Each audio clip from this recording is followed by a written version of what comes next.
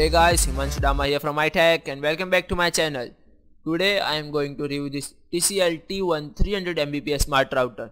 As the name suggests, it's a smart router which basically means it has a bunch of extra features as compared to the basic routers. Many routers now come with one or more USB ports to let you connect 3G dongles or storage devices to share the data on your local network. If you want to go with a fully integrated solution an obvious solution is to go with NAS but this is usually cost a bit more so instead TCL T1 router could make a low cost NAS alternative thanks to its internal 2.5 inch SATA bay and USB 2.0 slot to connect external hard drives or pen drives. And it can be had for just $45.99 on DealExtreme. I have posted the link to the product down in the description so you can go ahead and check it out. Let's take a closer look at this router. It looks more like a UFO.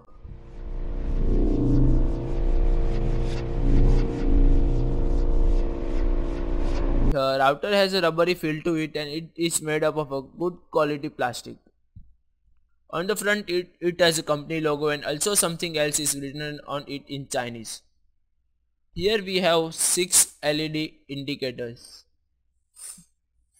First one for power status, second one for status of Wi-Fi, third one for WAN, fourth and fifth for LAN. 1, LAN 2 respectively, and the last one is for indicating the status of personal cloud.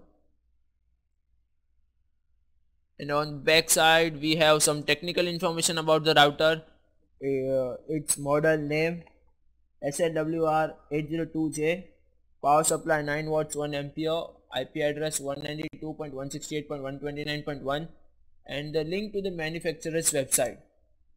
And we also have two barcode one for android and second one for ios. I think they are for downloading application for a smartphone for using personal cloud.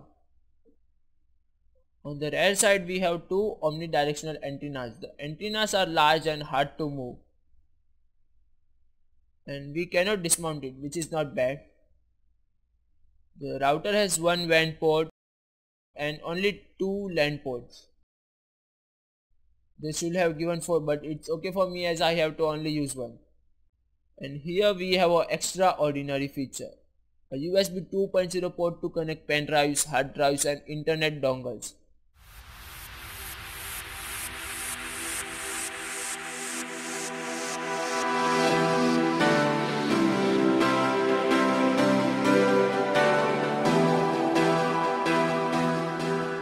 Here we have a reset button which I found difficult to press because of the antenna. The router does not have a WPS button.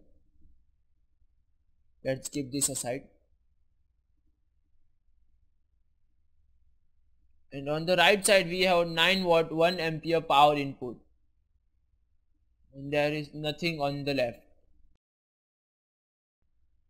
And this, yes, the router have a 2.5 inch SATA bay to attach internal hard disk and this is the main reason why it is called a smart router.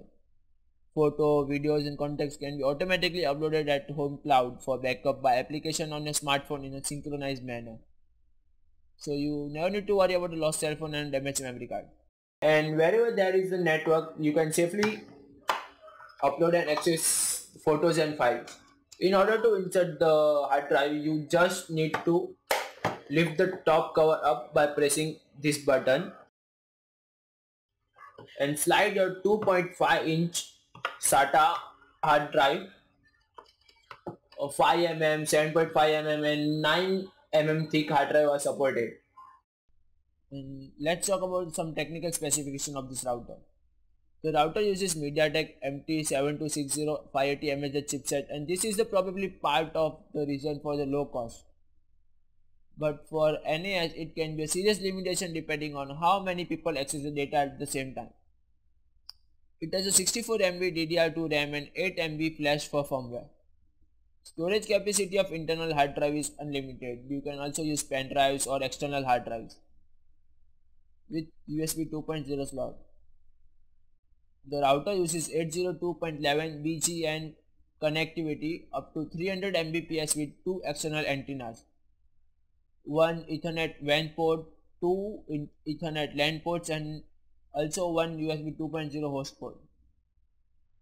The TCL T1 is very easy to set up. In fact, all you have to do is plug the router's WAN port into an internet source as well as a power source and you are done. Once connected, the first LED will turn on indicating the power status. The LEDs are not so bright. I have connected my laptop with this router and let's head over to the router's homepage. The local IP address to connect to the router is 192.168.129.1. Now the router comes with a very nice web interface. The setup guide will help you in setting up your router. There are three ways that let you connect the router to internet depending upon your connection. PPPoE, cable and relay. So relay is something new. What relay basically do is it will extend your Wi-Fi network by connecting to your old router wirelessly. Let assume there are three rooms, room 1, 2 and 3 and your old router is in room 1 and there is medium range of Wi-Fi in room 2 and less range or no range in room 3. Now place this router in room 2 as an extender. Just connect your old router by entering the password and you are done. You will now have full range in room 3. The second step is to set up SSID and wireless security for the router. The router provides very good range and performance as compared to my old Netgear D1500. And last one is setting up your private cloud. First of all, it will tell you to register. I have already registered myself. Second, it will ask you to connect hard drive to the router. So I have my terabyte already connected and in last, you have to download software to use private cloud. I have downloaded the software for Windows and Android. The application on Android shows up a simple and clear interface. There are several options in settings which you can turn on or off. You can set this option to on to upload files only on Wi-Fi to reduce the data usage. Now I will select the folders for the automatic backup. So the uploading of photos and files is finished. Now I can view those files from my laptop or any other device which has this application installed by just logging into my account. And this is the folder which I just uploaded from my phone. You can view this photo individually or you can also download all the photos together. Just select all the photos and right click it and select download. Select the path in which you want to save those files. And now I will upload some videos from my lap laptop. Uh, it's cleanup anthem by Lilly Singh. I will now play the video on my phone. Just browse the video in your cloud disk. So yes, you can stream video on your phone directly and also on multiple devices without any buffering. Gonna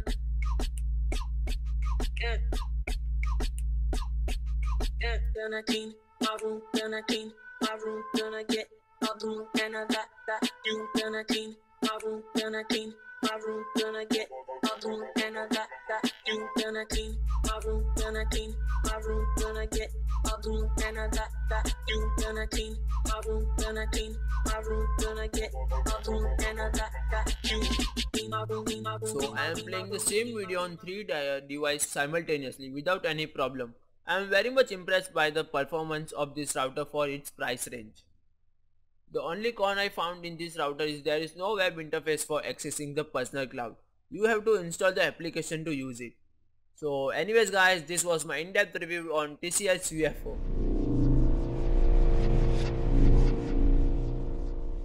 I'm in smart router. I hope you found this review helpful. That's it for now. I hope to see you guys in my next video. Do like the video and subscribe to my tech channel for more. Thank you.